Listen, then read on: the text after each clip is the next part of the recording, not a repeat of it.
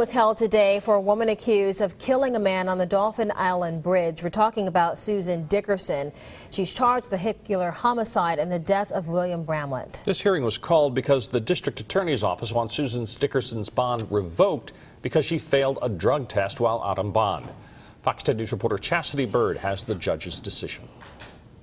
Susan Dickerson will remain in jail for now. She was set for a bond revocation motion that the state filed, and the judge granted the state's motion. So her bond's been revoked pending uh, the uh, consideration of the grand jury. 60 year old William Bramlett was riding a motorcycle on the Dauphin Island Bridge in June when police say Dickerson crossed the center line and hit him. The retired Marine suffered severe head trauma and later died at USA Medical Center. But on top of that, at the time of the accident, Dickerson was out on bond for drug charges from Saraland.